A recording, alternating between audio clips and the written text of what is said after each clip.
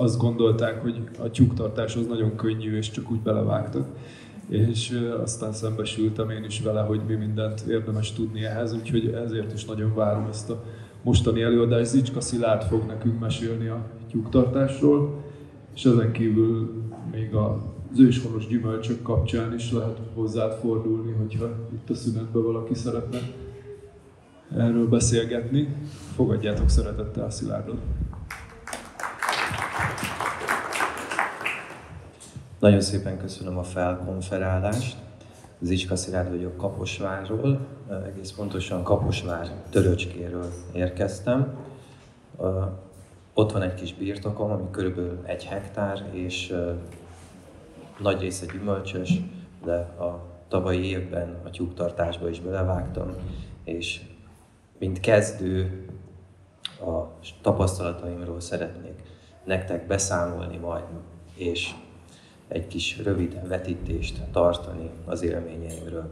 Nem vagyok profi baromfi tartó, nem vagyok állattenyésztő, hanem egy egyszerű hobbista, illetve csak egy olyan egyszerű személy, aki próbál utána járni, és a legjobb életet biztosítani mind a növényeknek, mind pedig az állatoknak. Van egy ilyen kis lézeres mutogató, meg léptető, remélem működni fog. Van egy weboldalam, egy Instagram oldalam és egy YouTube csatornám is. A, a YouTube-ra készítettem egy videót a, a gyümölcs fajták bemutatása mellett. Van egy kivételesen angolul, mert azt gondoltam, hogy megnézem a angol nyelven mennyien érdeklődnek esetleg egy magyarországi kezdő, hobbista, tyúktartó élményei iránt. Úgyhogy ez megtalálható a Zselicben YouTube oldalon, ha valakinek van kedve, ott megtalálja. Tehát, ahogy említettem, van egy gyümölcsösöm, mert én eredetileg, amikor ezt a birtokot létrehoztam, gyümölcsfajták megőrzésével szerettem volna foglalkozni, de rögtön adta magát a, a dolog, hogy itt egy rendszerben lenne érdemes gondolkodni, amiben helye van a kertnek, a zöldséges kertnek, a baromfiknak, a nagyobb állatoknak is, meg hát természetesen a gyümölcsösnek. Kis méretben próbáltam kezdeni, és nem a marhákkal, meg, a, meg a esetleg még nagyobb emlős állatokat gondoltam bevezetni a területen, hanem kezdtem a legkisebbekkel, a baromfikkal.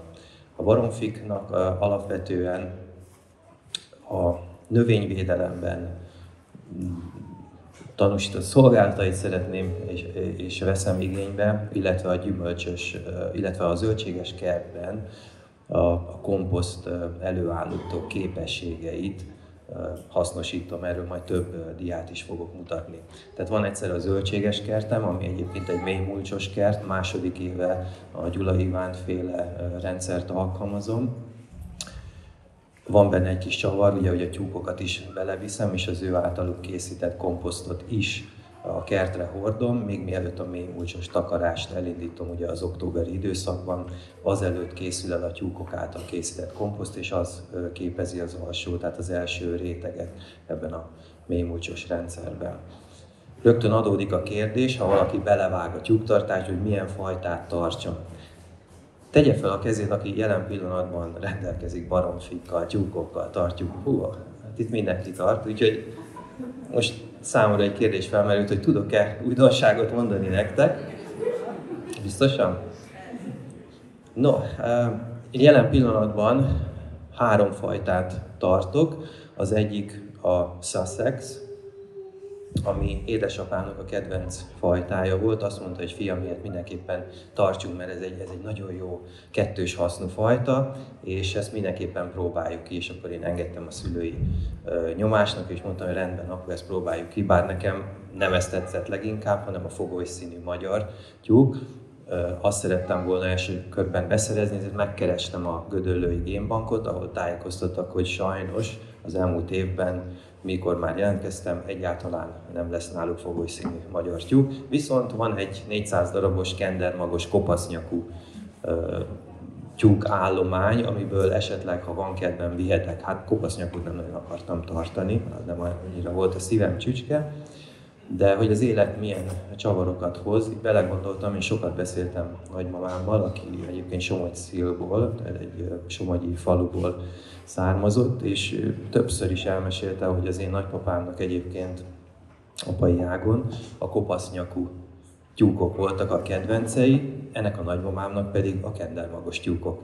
Tehát így egy ilyen sorszerű lehetőség adódott, hogy kendermagos kopasznyakú tyúkokkal indítottam a tyúktartást. És akkor a Gödöllön volt egy kedves hölgy, aki még hozzátett két darab, sőt egész pontosan négy darab erdélyi fekete kopasznyakú tyúkot is. Ugye a kendermagosok mellett lett négy fekete kopasznyakú tyúkom is.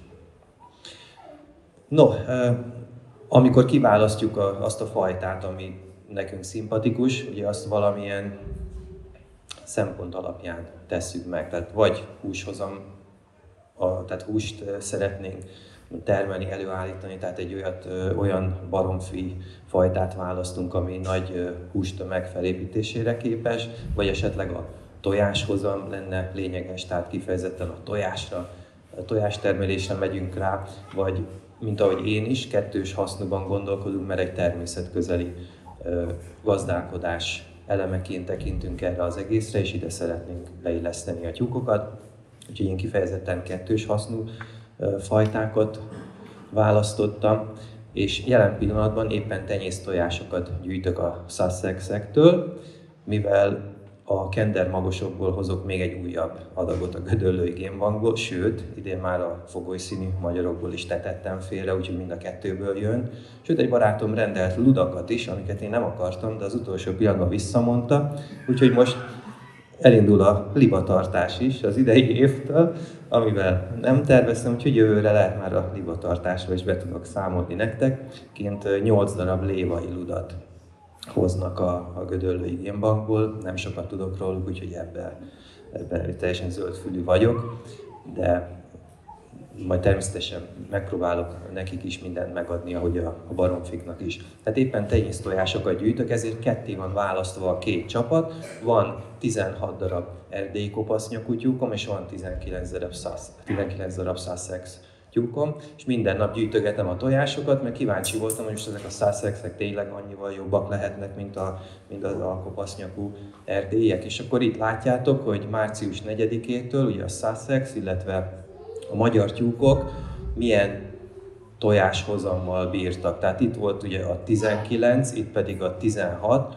Én nem látok olyan óriási nagy különbséget egyébként a tojáshozamban. Egy-egy ilyen kiugró nap van, de alapvetően én teljesen elégedett vagyok az erdélyi kopasznyakúaknak a, a tojáshozamával is.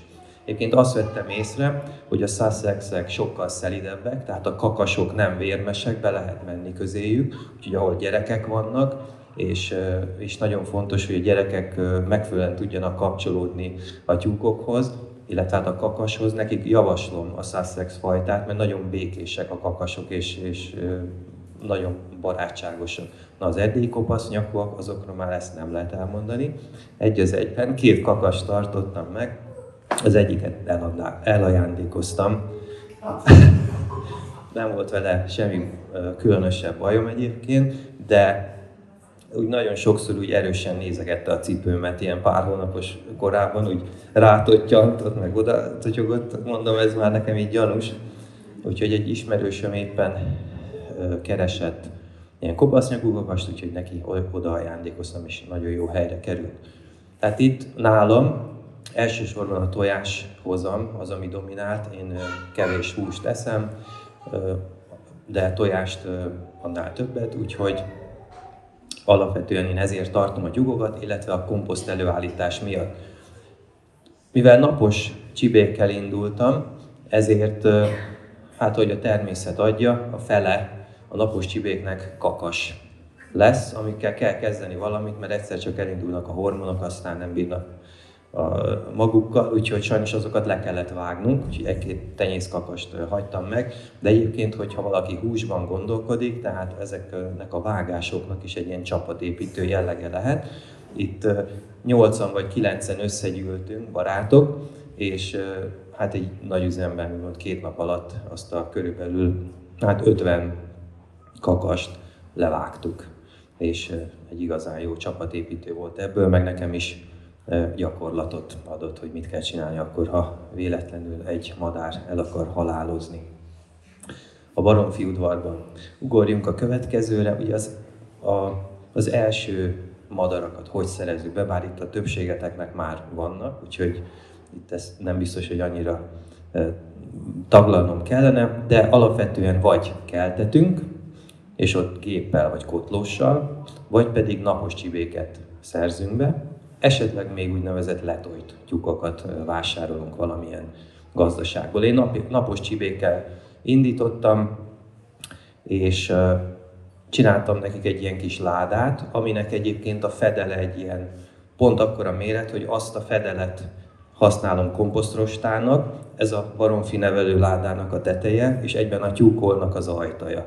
Erről gondoltam, hogy csinálok egy ilyen érdekes videót, mert az az egy keret, az háromféle funkciót tölt be. Ez hívhatnám már így ez, ebből a szempontból permakultúrás keretnek is, ugye, mert, mert többféle funkciót lát el. Úgyhogy az első hetekben a nappaliban voltak a csibék, Zserbó kutyám, ugye ő egy német vizsla, ő folyamatosan vizslatta őket a nap 24 órájában, ha megtehette volna, és mikor már túl sok piszkot okoztak ott, meg ott ugye a por, por szállt mindenfele, akkor kitettem őket a baromfi olba, ahol továbbra is melegítettem nekik a a környezetet, mert ugye amíg ki nem tollasodnak, addig megfelelő hőmérsékletet kell számukra biztosítani. Egyébként én nem akartam napos csibékkel foglalkozni, mert annyiféle rémtörténetet hallottam, hogy nekem ez biztos, hogy nem fog menni, csak napos csibém ne legyen. Hát mit ad Isten, pont napos csibékkel kellett indulnom, úgyhogy irodalom, szakirodalmat átnyálaztam. Itt rögtön el kell, hogy mondjam, ilyen kisüzemi baromfi tartással kapcsolatos könyvet én nem nagyon találtam magyar nyelven, viszont angol nyelven igen. Én ezt, hogyha esetleg valakinek van Amazon hozzáférése, ezt a The Small Scale Poultry Flock nevű könyvet Harvey Assery-től, ezt javaslom megvásárolni, mert ebben minden benne van, amit egy magamfajta permakultúrás kert tulajdonosnak tudnia kell a baromfi tartásról. Tehát itt ténylegesen egy ilyen rendszerbe illesztett baromfi tartásról szól ez a könyv ától zéig. Úgyhogy amit én itt fölépítettem, illetve megcsináltam, azt minden, mindent ennek a könyvnek az alapján készítettem el, tehát én magyar szakirodalmat abszolút nem olvastam. Facebook csoportokban meg aztán nagyon óvatosan néztem körbe, mert ott van minden is, ahogy szokták mondani. Jó, nézzük meg, hogy milyen épületek, illetve berendezések, berendezések szükségesek a baromfi tartáshoz. Nekem van egy, egy ólam, ahol alapvetően a, a baromfik éjszakát, az éjszakát töltik, tehát nem úgy, mint például a Szombathelyi Tibi barátomnál, ahol ugye egész évben kint voltak a, a gyümölcsösben. Nálam úgy indítottam, hogy azért valahogy beszoktatom őket ebbe a tyúkolba, és meglátjuk, hogy ők szeretnének-e inkább kint maradni, vagy pedig bent maradnak. És jelen pillanatban ők inkább bent szeretnek lenni, azt vettem észre.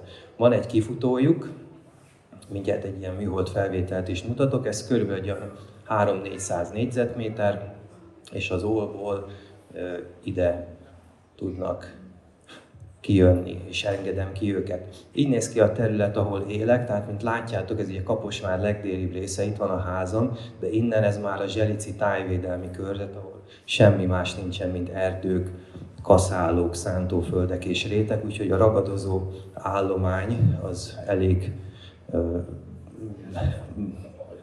nagy számú, tehát mind a tollas ragadozók, mind a szörmés ragadozók de rögtön itt az elején nem mondom, végén visszatérek rá, de tőlem még egyetlen egy tyúkot, kakas, csibét, semmit nem vitt el, sem ragadozó madár, sem róka.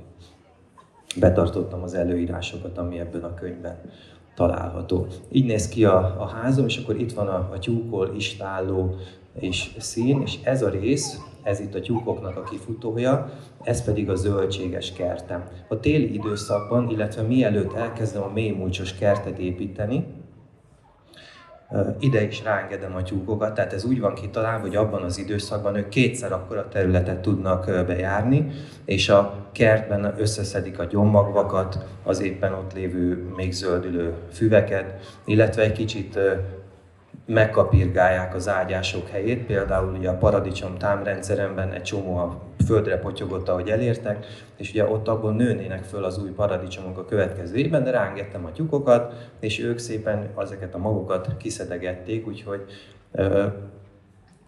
valójában csak a palántáimra számítok majd a következő évben, tehát nem kell azt figyelnem, hogy most ez egy magrókelt kis paradicsom, vagy pedig ténylegesen az a nemes fajta, amit kifejezetten meg szeretnék őrizni.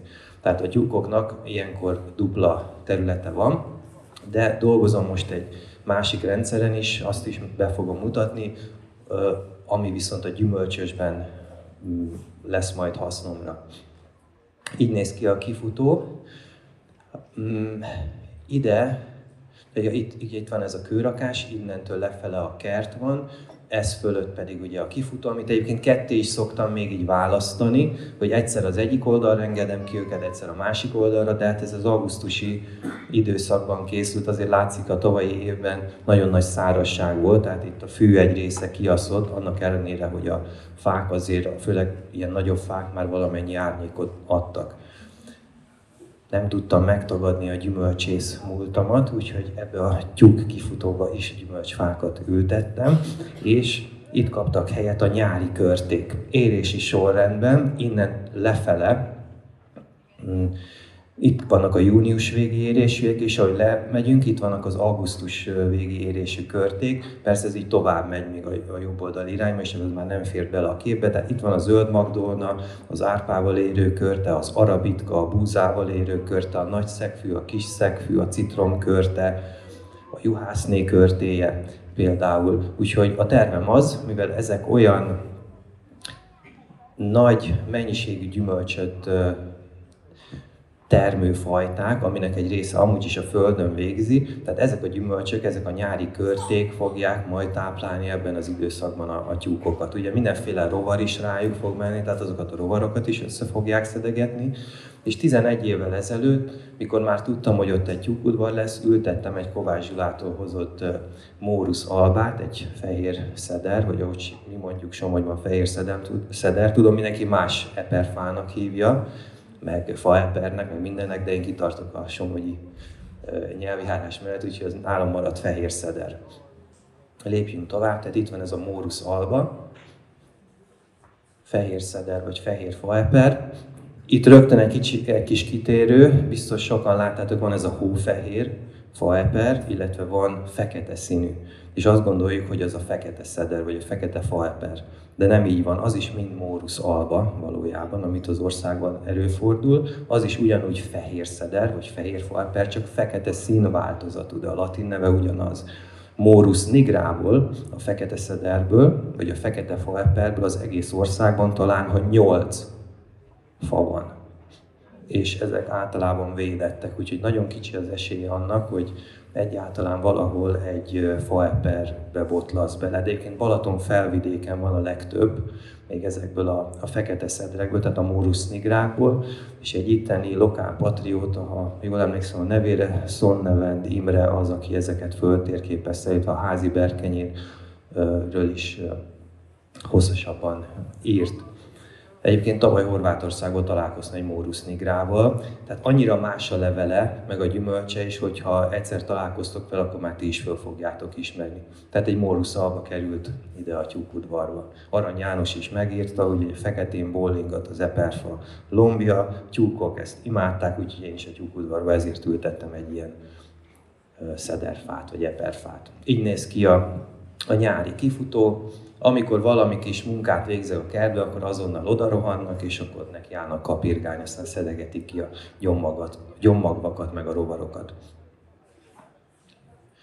Ez a téli ö, kifutója a tyúkoknak, mivel itt most van körülbelül 35 tyúk, és három kakas, majdnem, majdnem, negy, majdnem 40 baromfi, azért a téli időszakban, ha kiengedtem őket, azt a gyérkis füvet, azt ők lecsipegették csontig gyakorlatilag, úgyhogy eltűnt a pázsit a kertből, de hát semmi pánik, van itt egy nagyon jó könyv, ahol elmondja a, a, a szakember, hogy mit kell ilyenkor tenni, le kell mulcsozni az egész kifutót. Ugyanis, hogyha csupaszon hagyjuk, mint ahogy itt is még ez megmarad, akkor ahogy jön az eső, tovább tömöríti csak a talajt és a tyúkszart, bocsánat, de az csak így lemossa az egészet. Tehát nem jut be a fák gyökereihez, a talajélet az megsemmisül, tehát olyas, olyas lesz az egész, mintha egy betonra tennénk a tyúk trágyát, és az eső mossa mindenfele. Ha szerencsénk van, és ugye van egy kőrakás itt az alsó részen, mert lejtős, akkor mind oda fog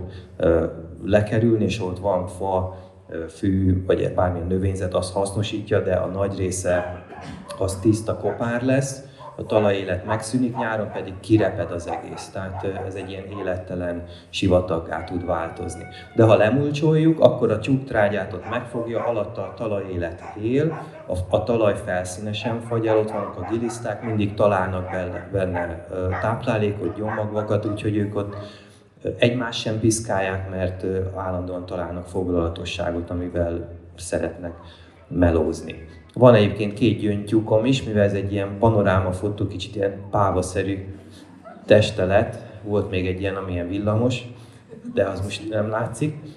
Hát csak kettőt hoztam, többet nem mertem, mert a szomszédok kiutálnának, de állítólag a patkányokat előzi a hangja, nincs patkányom, lehet, hogy ez miatt, lehet, hogy más miatt, azt sem tudom. De mm, amiről még olvastam, hogy a kullancsokat elég jó kordában tudják tartani, úgyhogy ha zserbó kutyám a vizsla is úgy akarja, akkor ki fogom őket úgy szabadon engedni a gyümölcsösbe, és hát reménykedem abban, hogy a kullancsokat itt nekem majd összeszedik, de ez még majd jövőre fog kiderülni, hogy, hogy itt ebben ők mennyire segítőkészek. Jó, tehát ez a legfontosabb, hogyha látok ilyen falusi baromfi udvart, ami kopárra van kapirgálva, meg egy szál fű sem nő benne, akkor a megoldás az ez lehet, hogyha néhány vála, akár szalmát, akár szénát, én itt szénát használtam, egy barátomtól kaptam, leteregettem, és akkor ez egy ilyen tök jó megoldása a baromfiúdva a téri kezelésének. Ez az úriember azt mondja egyébként, hogy a legideálisabb az lenne, hogyha a baromfiólat középre tesszük be, mind a két oldalon egy kifutó lenne, és a a, ugye ez a téli oldal, amit itt mulcsoztunk, tavasszal ez lenne majd a kert, ez a kifutó, és ezt évente cseréljük.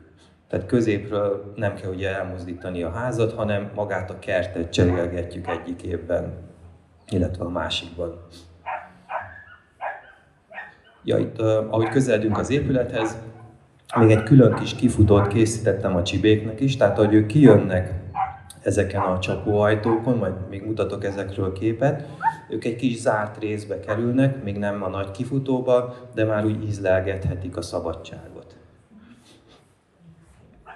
Így néz ki a baromfiól belülről, és azt el kell mondanom, hogy én nagyon sokat ültem számítógép előtt, muszájból, és volt időm gondolkodni, úgyhogy ezen a tyúkólon, meg az istálóépületen, a területen így évekig gondolkodtam, hogy hogy csináljam meg, hogy ez nekem a legideálisabb legyen, illetve az állatoknak is. Úgyhogy tehát ez lett a végeredmény, de ennek a legfontosabb funkciója alapvetően nem az, hogy a tyúkok ott héderezzenek benn egész nap, hanem hogy nekem komposztot állítsanak elő. Tehát én ősszel begyűjtöm a közeli játszótérről a faleveleket, a gyümölcsösből a faleveleket, egy csomó levél bejön az erdőből, amit befúj, azt is összeszedem, és ilyen big bag zsákokban tárolom őket a padláson. Készítettem egy ledobónyílást, ezért amikor az ammónia illata megjelenik a rendszerben, hogy az azt mutatja, hogy nincs elég szén, ez is érdemes a komposztáló, komposztálásról tanulni egy kicsit, mert akkor rögtön érzékeli az ember, hogy valami nem stimmel. Tehát ha az ammónia megjelenik a levegőben, akkor lezúdítok egy adag falevelet az olba, és akkor ott megint csak a komposztálódásnak egy ideális feltétel rendszert teremtek. Tehát ők itt kapirgálnak, összekakálják, hát a tyúkoknak az egyik fő tevékenység az, hogy kakálnak. Tehát, hogyha ezzel így nem szembesültem ez idáig. Egyébként meg ilyen szép emlékeim voltak a, a, nagyszülői udvarból, de most, tehát ez rettenetes. És akkor kigondoltam, hogy majd ő, ugye csak erre az avarra fognak kakálni, és milyen jó lesz. Hát nem, mindenhol kakálnak, és főleg a peremekre. Tehát a, itt, ezekre a részekre meg ott nem látszik, van egy tojóláda, de az, szóval megyek az ilyen kaparók is lemezem időnként, és azokat is kapargatnunk kell. Tehát az ember kitalál egy rendszer, és néha azért nem százas összességében. Ja, itt vannak még ezek a kis kijáró nyílások. Ezeket úgy mozgatom, mint régen a rómaiak, ahogy a gladiátorokra ráengedték az oroszlánokat, meg a tigriseket. Tehát, hogy ne kelljen bemenni a, a tyúkszaros udvarba, úgy ki lehet nyitni akár báli cipőben is, a külső részből is le lehet engedni az udvarra a, a madarakat. Ja, hát persze attól ők még itt megülnek az ilyen peremeken, és akkor ott teszik a dolgukat. Tehát faleveleket és vannak asztalos barátaim, tőlük pedig faforgácsot hozok, és azokat is ugyanilyen köbös zsákokban tárolom. Tehát így néz ki a tojásgyár. Azt írja a szakirodalom, hogy általában 8, 8 tyúkra kell egy tojófészek. Ezért készítettem 8 fészket, eredetileg csak 4 volt, ez a nagyon szuper ilyen kívülről nyitható tojóládám, de nem kell bemenni ugye megint a tyúkszaros olba, hanem kívülről kinyitom, és akkor onnan kiszedem a tojásokat. Csak hát több tyúkom lett, mint amivel eredetileg kalkuláltam, mert én egy olyan 10-15-öt gondoltam maximum. Aztán mondom, akkor jó, hát kakasok is lesznek, jó, hát valami elhalálozás is lesz, mert azért én kezdő tyúktartó vagyok, de hát nem volt elhalálozás úgyhogy mind megmaradt, meg még a kakasokból is, úgyhogy a végén kellett újabb ládákat csatasorba állítanom, és ezek a mandarinos rekeszek egyébként, ez a 20x30x40-es méret, ez a tökéletes fészek méret. Tehát, hogyha nem akartok sok időt eltölteni az ilyen ö, exkluzív tojófészkek gyártására, akkor sima ilyen mandarinos rekeszeket szerezzetek be, tesztek egy kartont az aljára, meg az oldalára is lehet egyébként, beleteszitek a faforgácsot, illetve a faleveleket, én így időnként keverem is, és akkor ők ott nagyon jól érzik magukat benne. Tehát ez a legolcsóbb fészekkészítési módszer. Ja, az ülőrudaknál még annyit, hogy mindenképpen lekerekített ülőrudakat használtok, a tetőléc, az az éles, az nem jó nekik. Vagy ha tetőlécet használtok, akkor le kell gyalulni az éleket.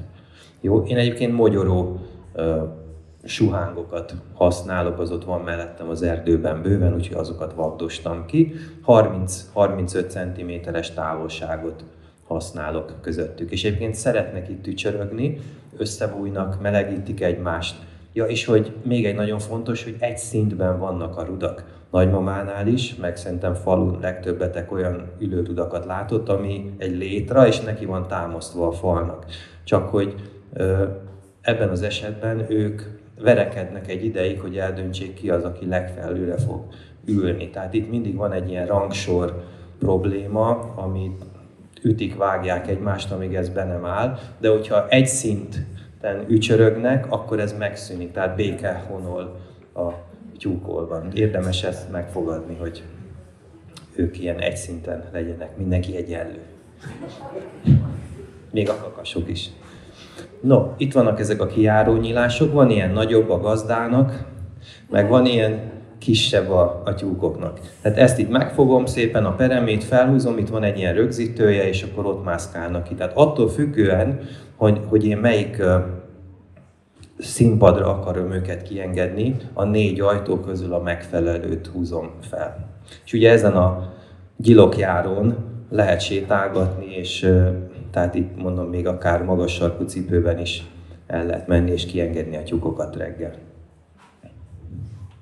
Így néz ki a komposztudvar, ugyanis az egyik része ennek a kifutónak egy komposztudvarrá vált, szintén az amerikai úr elképzeléseit követve. Ez le van hálózva felülről, rasel hálóval, vagy krumplizsák hálóval, tehát nem tudnak sem a ragadozó madarak becsapni, sem pedig, illetve nem szárítja ki az itt készülő komposztot, tehát azt az erős napsugárzást azt megszűri, úgyhogy a mulchhoz használt anyagomat tolom be ebbe a részbe, és ez azt mutatja, amikor a csibék akkorák voltak, hogy először kiengedhettem őket. Szépen ezt a trágyát itt elkezdték kapirgálni. És akkor, ahogy nagyobbak lettek, ez már szépen így ellaposodott, és időnként felülszórom valamilyen szerves anyaga. Azok lehetnek falevelek, lehet ugyanilyen szalmás trágya, lehet szalma, széna, bármi. A lényeg az, hogy a felület az viszonylag száraz legyen, mert amikor ilyen nedves, sáros, hideg környezetben élnek a tyúkok, ott a betegségek is jobban tudnak terjedni. Úgyhogy vettem nekik egy ilyen esernyőt, mert azt még nem gondoltam ki, hogy ha kiteszem nekik a kaját, az hogyan tudom megelőzni, hogy ne legyen vizes. És akkor a kínaiban ilyen 1500 forintért vannak ilyen esernyők, még átlátszó változatot vettem, hogy tudják kiemleni az eget, ragadó, ragadozó madarat észrevegyék, de igazából nincs jelentősége. Csak bárki, aki jön hozzám, az egész, hogy milyen rendes gazda vagyok. Most vannak ilyen hülyeségeim, aztán néha így elrötyögök magamban ott a, a baromfi udvarban. Na, azóta egyébként ezt kitörte a forgószél.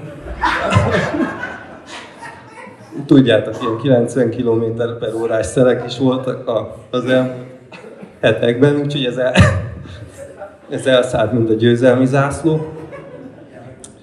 És most egy ilyen tiszta piros van, mert az egész...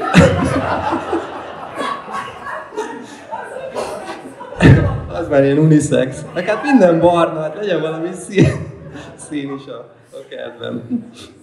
Na szóval egy 1500 forintos ernyő, ez nagyon fel tudja dobni a baromfi tartást. Nézd is a kakas, hogy mi az Isten ez. ja, de mindegy, megszokták szeretni. Na, eh, megyünk, akkor egy kicsit visszatérünk a komolyabb vizekre. Így néz ki a komposztudvar. Itt van középen egy nagy akácoszlop, és fölötte a rasel háló, ami ezt megfelelő magasságon tartja, és így néz ki, akkor, amikor kész gyakorlatilag, tehát a felső réteget, ugye leszedem alatt ott van az a, az a, az a fekete komposzt, az a virágföld gyakorlatilag. Ezért ez az elem, ami itt van, ez levehető, és onnan talicskával, kis traktorral, bármivel ö, már le tudom vinni a kertbe ezt az anyagot. Tehát itt ez ugye a, a nyár vége, az ősz eleje, még a, a, a készítés előtt kilapátolom és letolom talicskába. Egyébként a kert azért van a terület legmélyebb pontján, hogyha milyen aggastyánkorú leszek, akkor is saját kézi erővel, ugye a talicska húz engem, akkor lemegyek a kertbe. Tehát úgy van minden elrendezve, hogy én ezt a saját fizikai erőmmel is tudjam kezelni.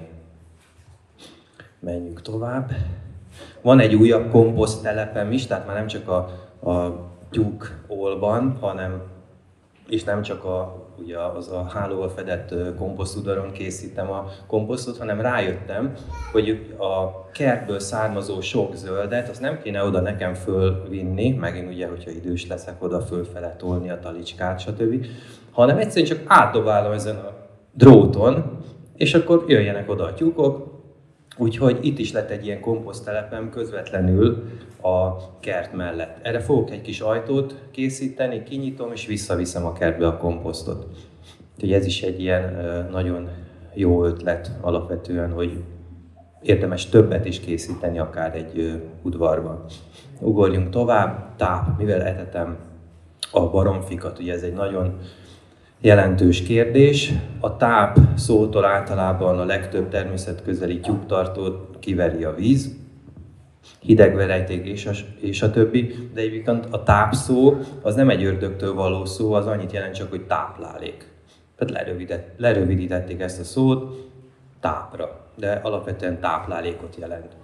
A tyúkoknak van egy ö, alapszükségletük, amit illik nekünk megadni számukra, hogyha mi lelkiismeretes gazdák vagyunk. Tehát szükségük van rost, rostokra, fehérjékre, bizonyos ásványi anyagokra, vitaminokra, hogy felépítsék a kis testüket, kálciumra van szükség, hogy azt a tojást elkészítsék, különben ők ugye annyira önfeláldozó kis lények, hogy a saját csontjaikból képesek elvonni a kálciumot csak azért, hogy tojást készítsenek és ezért ugye összetörjük a tojáshéjat, visszatesszük a, a rendszerbe, hogy majd ők azt beépítik, csak hogy D-vitamin nélkül nem képesek a kálciumot beépíteni a testükbe. Tehát itt vannak olyan összefüggések, amit ismernünk kell ahhoz, hogy az állatainkat jól tartsuk. És azt hiszük, hogy megadunk nekik mindent, de közben ez egyáltalán nem biztos.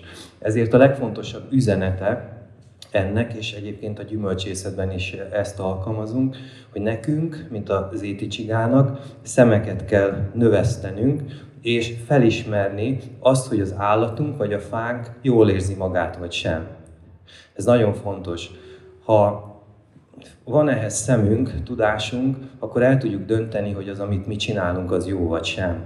Lehet, hogy egy olyan rendszerben van az a gyümölcsfánk, vagy az a tyúkunk, nem csinálunk vele semmit, kapirgál az udvarban, a gyümölcsösben, mindent megtalál, és jól érzi magát. De lehet, hogy egy másik helyen nem. De azt nekem látnom kell, mint hogy a kutyámon, a macskámon, a lovamon látom, ha vele valami gond van, hogy kullancsos vagy bolhás, sántít az egyik szemére, nem lát, tehát hogy valami gond van vele, ezt föl kell ismernem, és a tyúkoknál és a gyümölcsfáknál ugyanezt kell. Hogyha gond van, akkor be kell avatkoznom. Ha nincs gond, akkor nem kell, az teljesen jó úgy, ahogy van. És az én meglátásom szerint akkor feketőves egy rendszer, hogyha ott boldogan, jól élnek az állatok és a növények is, és nekem nem kell sok mindent csinálni.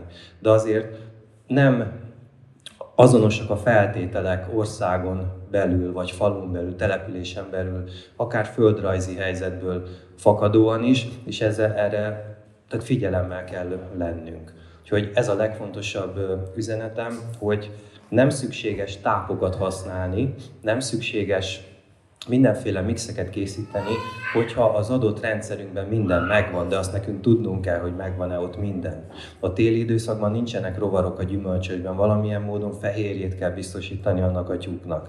Valahogyan a D-vitamint biztosítani kell. Ha nem messzes talajon vagyok, itt messzes a talaj, lehet, hogy nincs elég mész, amihez az a tyúk hozzájut. Ott én löszös talajon gazdálkodom, az mész szegény. Ott vannak a szelít gesztenyék, azok a mész szegény talajokat kedvelik. Úgyhogy én összeállítottam egy mixet, amit adok neki, alapvetően a kukoricából, búzából áll, ez kétharmada az egésznek, és az egyharmada az, azok olyan anyagok, amire így a téli időszakban szüksége van a baromfiknak, a nyári időszakban, amikor kiengedem őket a gyümölcsösbe, akkor pedig figyelem őket, és lecsökkentem az egyéb hozzáadott dolgaimat, és figyelem, hogy az egészségük azok, az rendben van-e. Erről egyébként hosszabban is lehetne beszélni, csak most itt ugye az idő rövidsége miatt ebbe így, a nagyon nem mennék be, de most szívesen válaszolok kérdésekre így az előadás után. Mi az, amit még a tápon kívül kapnak? Nálam uh, egész télen vannak zöldségek a kertben, kifejezetten nagy mennyiségben termelek tarlórépát, tehát ami nekik elegendő. Ő egyébként kibírja, mármint a tarlórépa, a téli fagyokat is, úgyhogy ezt is a zöldjét is, illetve magát a, a, a gyökerét is ledarálom nekik egy ilyen gyümölcsdarálón, és azt adom nekik. De nem szabad túl nagy mennyiségben ezeket az egyebeket hozzátenni, mert ugye a, a tápban, tehát a táplálékban levő fehérjét és egyéb szükséges anyagokat felhigítják. Tehát hasznos dolog, de csak csinyán lehet adni belőlük, hogyha szeretnénk egyébként tojást termelni, vagy tojást tenni reggelire a családnak biztosítani, illetve szeretnénk egészséges madarakat látni. Egyébként számomra az az egyik legfontosabb visszajelzés, hogy bárki, aki jön hozzám, az azt mondja, hogy fú, de szépek ezek az állatok. Tehát nekem ez többet jelent, mint hogyha azt látom, hogy itt nekem 20 vagy 19 tyúktól 19 tojásom van. Nekem az nagyon fontos, hogy ők az, az állatok azok jól érezzék magukat. Van egy giliszta komposzt edényem, onnan is adok nekik csemegét, egyébként ezt a komposztel készítéshez használom alapvetően a, a giliszta humuszt, de mindig vannak ö, halottak és sebesültek, úgyhogy azokat adom a tyúkoknak. És a téli időszakban egyébként csíráztatok ö, magvakat, mert a csíráztatott magoknak megváltozik a beltartalma, és ezzel meg lehet egy kicsit segíteni a, a, madarakon. Ja, itt felsorolja zöld növényzet, tarlórépa, csiráztatott magok, és a víz. Nálam esővízgyűjtő rendszer működik, a kinti csap is erre van kötve, és alapvetően esővizet isznak az állatok. Kutyák is, macskák is.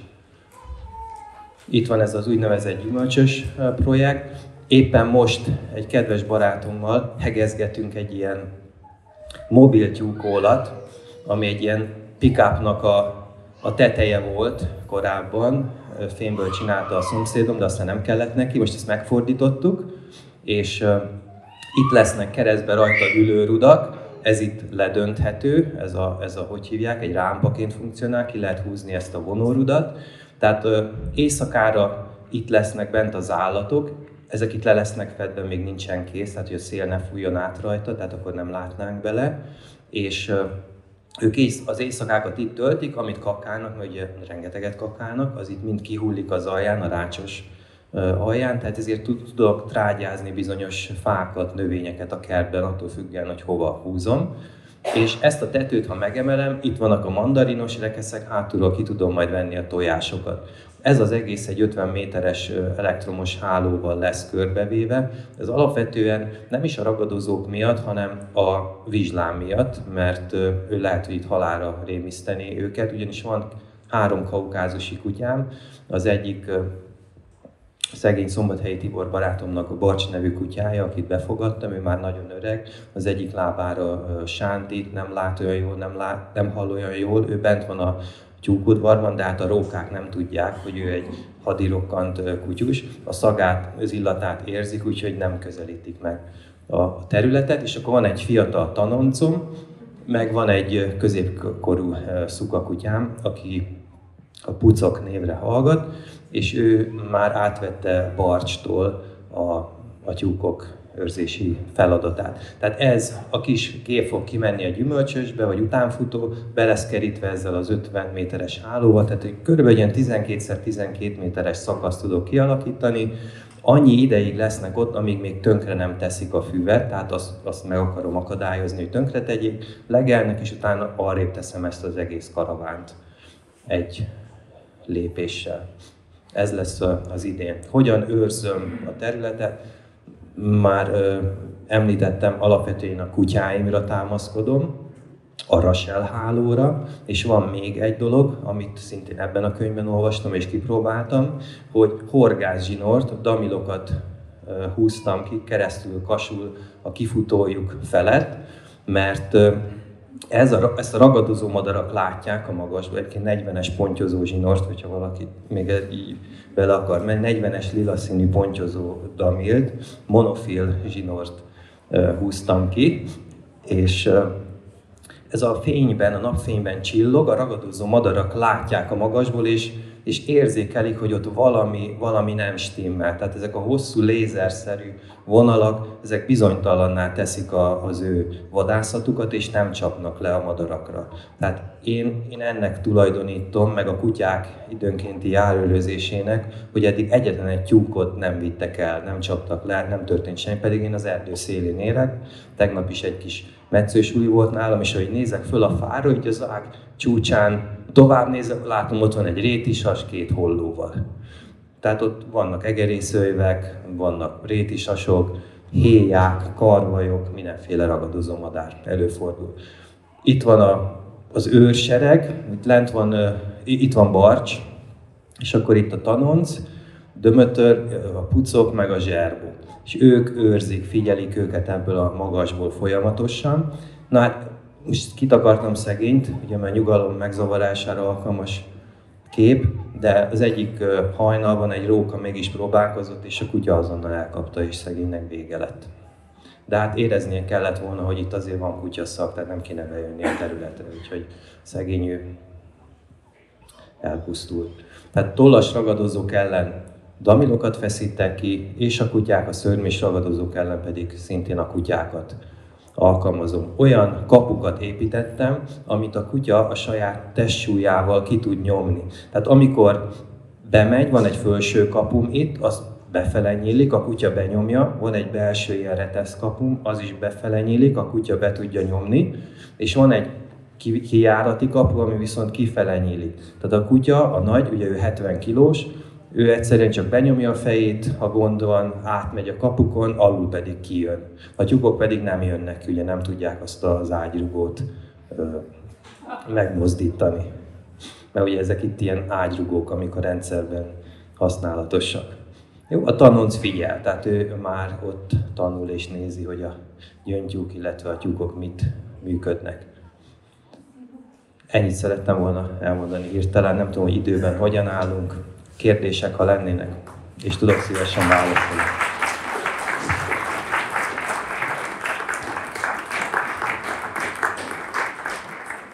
Igen. beszélnék, ha van még egy picit Igen. a, a táplálékról, hogy azt értettem, hogy a húzát és kukoricát egészképpen adsz, ez kiveszi a kétharmadát a Igen. tápláléknak, és akkor az egy harmadról lehet egy kicsit tudni, hogy az titkos. Nem, az az egyharmad, az egyharmad az alapvetően napraforgóból áll, takarmányborsóból. Használok még a, azt hiszem az etanol gyártásnál keletkezik a kukorica egy ilyen mellék, az etanol gyártás egyik melléktermék, ez a kukorica DDGS. Igazából nem tudom, hogy most az pontosan, de egy ilyen kukorica, gyakorlatilag valami fermentált Köszönöm. Tehát egy olyan, aminek a, a fehérje tartalma egész jó, és mert ugye a lényeg az, hogy ahhoz, hogy tojásunk legyen, például az erdélyi kopasznyakúaknak egy ilyen 14% fehérjére szükségük van. A Sussexeknek kb. 16%. A letolt nagyüzemű baromfiknak 18% körülbelül. Tehát ezt a fehérjét valahogyan biztosítani kell. A legtöbb termelő szóját vesz, mert ugye a szója a legolcsóbb fehérje hordozó és a legkönnyebben emészhető baromfik számára. Jelen pillanatban nincsen ennél olcsóbb, amivel a fehérjét biztosíthatjuk. A gyümölcsösben a rovarok, meg a zöld, ezt valamennyire ezt tudja pótolni, de most gondoljunk bele, hogy hány fácán él mondjuk, vagy, vagy, vagy viszonylag nagyobb testi madár egy x hektáros területen. Tehát egy, egy ilyen 400 négyzetméteres terület, vagy akár vehetem az egy hektárt is, rászabadítok 30, 40, 50 baromfit, az x nap alatt le fogja rabolni az egészet. Ha csak két tyúkom lenne ezen az egész területen, akkor ők ott vígan el lennének. Vagy mint például a Tibinél három hektáron volt, nem tudom én mennyi. Tehát ha a, maga a, a létszám, a baromfi létszám nagyon alacsony, akkor lehet, hogy ezekre abszolút nincsen szükség. De jelen pillanatban valamivel ezt biztosítani kell számukra, különben látom a jeleket majd rajta, hogy csököttebb lesz, baja van, szóval az, akinek értőszeme van hozzá, és ezt mondtam, hogy értőszemeket kell növeszteni, ő észreveszi, hogyha nem jól érzik magukat az állatok, és meg kell adni neki a szóját. Ki lehet egyébként váltani, például csillagfűrtel, meg, meg olyan kiegészítőkkel, ami, ami alkalmas lehet erre, de háromszor annyiba kerül. És akkor, hogy Hosszú, de egyébként szerintem. Én használom a téli időszakban is, igen. A borsó is jó, de 100 kg maximum 8 kilót lehet tenni. Mert az emésztést, tehát hogy el tud, azt hiszem az emésztőrendszerből valami eltömődés, vagy valamilyen problémákat tud okozni. Nagyon jó lenne a borsó, de 100 kilóban én úgy emlékszem csak 8 kilót lehet maximum tenni. Jelen pillanatban a szója az, ami ezt a fehérjét számukra biztosítani tudja. Én még nem találtam alternatívát, egy ismerősöm csillagfürttel váltja, ide Lengyelországból kell hozatni, mondjuk a szója 4000, az meg 15 ezer forint körülbelül mázsája, de muszáj néha, mert azért vannak ö, olyan honfitársaink, akik például allergiások a szójára, tehát a legkisebb mennyiséget megérzi és allergiás tüneteket okoz, muszáj kiváltani. Nálam a komposztban is rengeteg élelmet találnak. Időnként megforgatom ott nekik az udvarra, mindig benne vannak a rózsabogárnak a, a bajorjai, giliszták, meg sok egyéb élőlény, amit mi nem is látunk. Tehát az is biztosít számukra valamennyi fehérjét, de ezt nem tudjuk megmérni. Úgyhogy én szeretném ezt lecsökkenteni, a téli időszakban nagyon nehéz, mondom, hogy nincs zöld, meg rovarok, de nekem is az a célom, hogy amennyire lehet természetes módon tartsam őket, de nem az ő egészségüknek a rovására. Szívesen. Igen? Hegű volt már? Nem, nem volt még. Hála Istennek. Nincs valami abba a varázskönyvben róla? Biztos van, de mivel az még nem érintett, és elég vastag, ugye azt még hagytam. Egyébként jó ez a kérdés, mert rögtön itt hozzátenném, hogy a legjobb az, hogyha saját magatoknak keltetik, keltetitek az állományt, és a tenyész kakasokat is úgy szerzitek be még tojás állapotban, és nevelitek föl, mert ha bárhonnan hoztok bármilyen egyéb állatot, ezt előbb karanténba kellene tenni, lehet, hogy nem olyan helyről származik, ahol mindent megadtak neki, amit egyébként te megtennél, és hozhat be magával tyúktetűt, vagy egyéb olyan dolgot, ami problémát okozhat. Úgyhogy én is most már csak ezt fogom csinálni, mert volt egy gyönyörű Sussex tenyészmagasom, azt elajándékoztam, és kaptam, hogy hoztam kettő másikat, de már ott nem tudom, hogy milyen körülmények között voltak, és egyből hozzájuk csaptam. Tehát szerencsére nem történt semmi nálam, de akkor belegondoltam, hogy milyen könnyen behozhattam volna bármit az állományba, és akkor lehet, hogy gondok is lehetnének. Úgyhogy ezen túl már csak tenyésztojást hozok, vettem egy keltetőgépet, de van három kotlósom is, amik most olyan kotlásszerű tüneteket produkálnak, de úgy még nem ülnek meg hosszú ideig a tojásokon, de úgy csörögnek rajta. Úgyhogy Hát remélem, hogy lesz saját kotlósom, és ezek egyébként az erdélyi kopasznyakúak, közülük van három, ami megkotlott már, és akkor szeretnék ugye kotlóssal is keltetni a csibéket. Igen? Hogyha azt akarod, hogy megüljön, akkor zabot kell neki adni. Uh-huh. Ezt a nagymama mondta. A másik pedig az, hogy fahamú az, ami a tetőt elviszi. Igen. A fürdő részébe, tehát a homokos fürdő részébe fahamut szoktunk keverni direkt azért, mert az a tetőt így van. Erről én is hallottam, sőt van is egy ilyen mosó, hogy hívják ez, amivel a mosógéből kivett ruhákat tesszük, ez a nagy valami kosár. Na, abba tettem fahamut, földet, egyebeket, és ezt betettem a, a tyúkolba, tehát azt tudják használni a téli időszakban fürdésre, mert ugye amúgy meg kint a gyilokjáró alatt, ahol nem csak az eső, ott a porban fürdenek állandóan, de a hamu az, az nagyon-nagyon jó. Sőt, még borászati ként ezt a kénport is szoktak hozzátenni, ami szintén a tyúktetű előzésére alkalmas lehet. Igazából egy két-három homok. Homok is, igen. igen az ugye az emésztésben is segít. Sőt, kavicsokat kell is tenni, ez kimaradt. Tehát én, én veszek ilyen osztályozott sódert, amit még tovább rostálok, és ezeket a picike kavicsokat külön tálcában beteszem a kifutójukba, amit ők eszegetnek, csipegetnek. Nagyon nagy szükség van rá az emésztésükhöz, a jó emésztéshez, a zúzó gyomorban tovább aprítják. Igen, az nagyon hasznos. A hamut. Igen, igen. Igen. Igen, ez, ez nagyon jó szerintem is. Az úr valamit kérdez. Egyik kérdésem az, hogy a tárnál ilyen francia egészen, ötszem, a mekkora francia daráló, mi az? Hatos. Nálam ugye ez a régi, nagyon régi, minden falusi háznál volt ez a daráló, most meg nem mondom, hogy talán Székesfehérváron készítették. És ugye alapból azt hiszem ötös... Az egyik éppen ott volt? Na, ez egy ilyen ezüst színű régi. Van többfajta rosta, alapból ötös volt hozzá, de én uh, még találtam egy hatost, és ezt a hatost használom most is, is bevált. A felnőtt állatoknál, mert a, a csibéknél kisebbre kell darálni.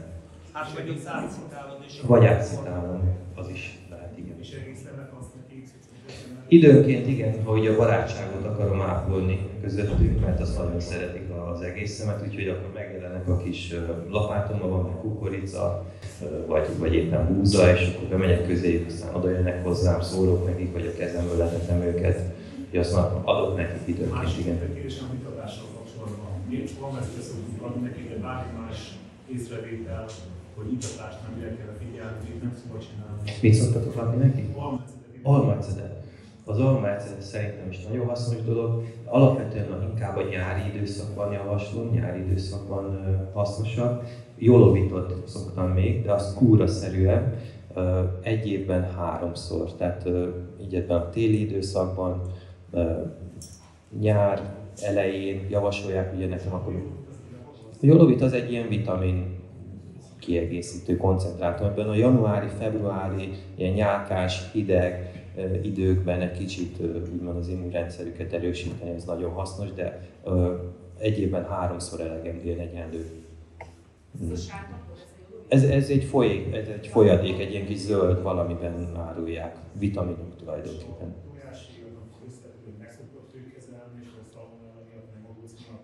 Én nem foglalkozom a tojáshéjjal, mert a család elviszi az összes tojást, meg az ismerőség nem kerülnek vissza a tojáshéjak. Kevés az, amit én magam megeszek, tehát az, ahhoz képest minimális, mert napi 20 valahány termelődik, én meg mondjuk napi 4-et, 5 6 ha megeszem. Úgyhogy én alapvetően mészkő, mészgritet, mészkő lisztet használok a, a tojáshéj helyett. Bekeverem, igen. Hozzákeverem. Annak rajta van, megvan a keverési aránya, meg, meg igen. röptét is szoktam belerakni. Azt nem, azt nem ismerem, hallottam róla, de én nem alkalmaztam. Kettő és fél kilót kell egyébként 100 kilóhoz keverni a mézből. De elengedhetetlen, hogy hozzá keverj valami olyat, ami viszont D-vitamin tartalmaz. Ehhez javasolnám a Nutrafortot például, ami a legtöbb gazdaboltban megvan.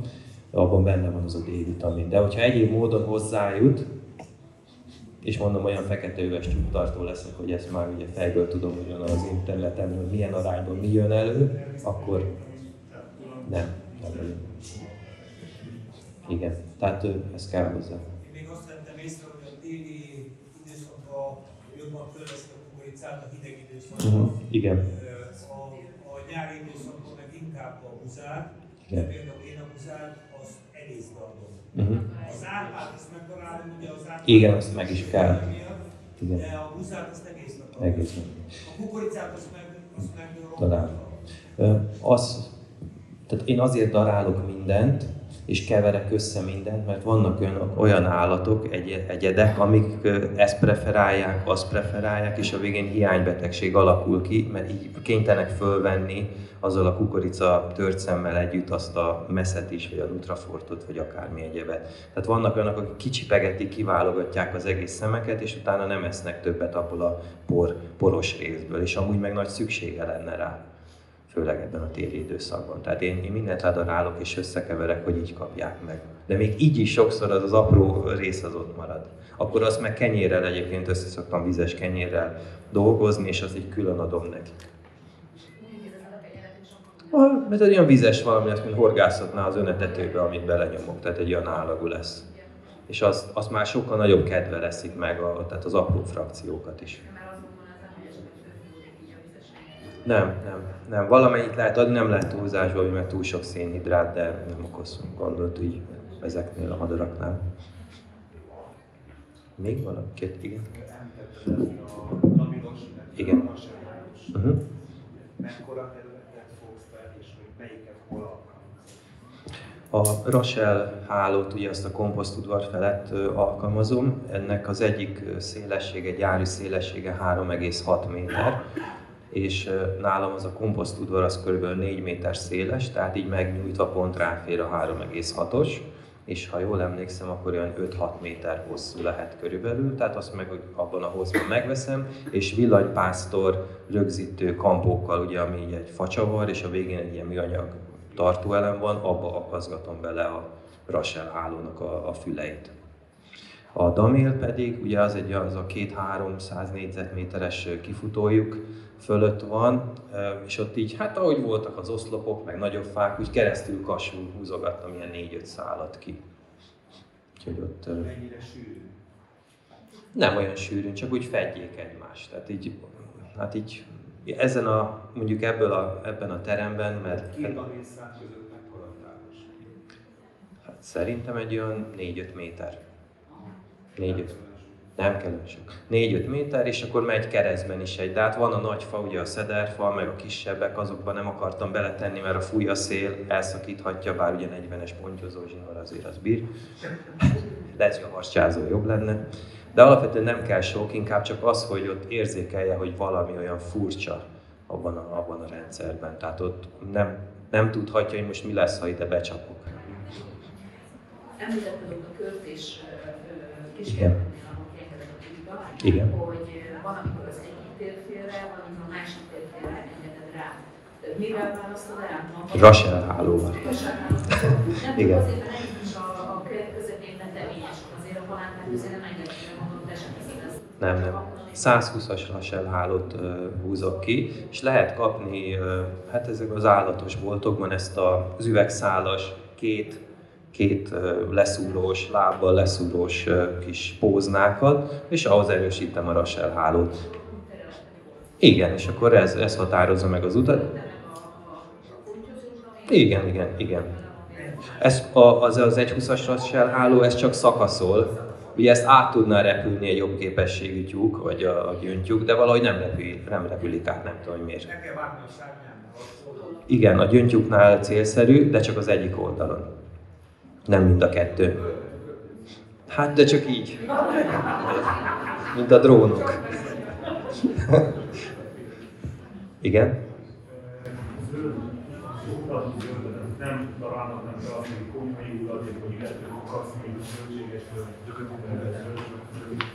Na, a kertből jön ki egy csomó. Az, Igen. Igen. Tehát az konyhai hulladékból, zöldségestől kapsz. Mi az, amit nem szabad felfigyelni, esetleg átmenő felvesz a például a burgonya, krumplihéjat, az nem jó a tyúkoknak. Az, ha jól emlékszem, talán a szolanin tartalma miatt az, az nem jó. Tehát főzve én úgy tudom, hogy jó, de ez a nyers krumplihéjat, azt, azt nem adom nekik. Az megy a komposztra. Meg hát a saját kertből, ugye ez egy egy hektáros gyümölcsös, onnan a tyúkhurt gyűjtögetem, meg füvet dobálom be nekik, de hát most szeretném őket kitenni a gyümölcsösbe, hogy ne legyen gond, és akkor mindig arrébb teszem, és ők azt a zöldet majd ott lelegelik, amire szükségük van. Hogy is teszünk a kurvaja államosan egy várni mellé, megjelölő, ami változtató, az ami elkezdett számítálnak. Hát, Ezt, ezt így nem, nem tudom. Tehát gondolom, hogy a természetben is, hogyha valami eltakarja, véletlenül rácsípne, fölötte volt, stb., akkor ha megpusztul, akkor annak annyi, ugye? Az a Darwin díjat. Megnyerte. De igen, ez, ez egy jó kérdés, de alapvetően ezzel én nem foglalkozom. Hát az szedek nekik mindent, és kiválogatják.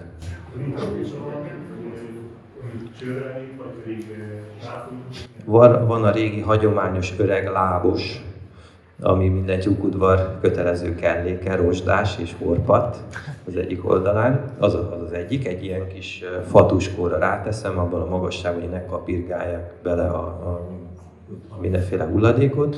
Fejmagasságban van, és vannak önitatóim is, igen. A, hát ez a búra, és akkor alatta egy ilyen tál, rá lehet csavarni, műanyag, és azt, azokat használom. De egy kis tavat is szeretnék készíteni, az esővízgyűjtő rendszerem olyan, hogy az istálló gyűjti a vizet, és onnan csorog lefele egyébként a kert irányába, vannak ilyen tisztító nyílások, és az egyik ilyen túlfolyó nyílást, ezt el fogom zárni, és az egy kis tavat táplálna majd itt a baromfiúdvarban, meg a gyümölcsösben is ez már így ki van alakítva, de még nem csináltam meg. Tehát két kis tó is lenne majd a gyümölcsösben, illetve a, a, a tyúkudvarban, meg hát ha jönnek ezek a libák, akkor valami vizet is kell nekik biztosítani, úgyhogy ez meg lesz az idén. Kacsám a szerencsére még nincs, de attól tartok, ami késik, ami késik nem múlik. De most egy Rákóczi kacsát, azt nem ismerem. Uff. Valakinek még van egy kérdése? Ha nincs, akkor köszönöm szépen, hogy meghallgattatok.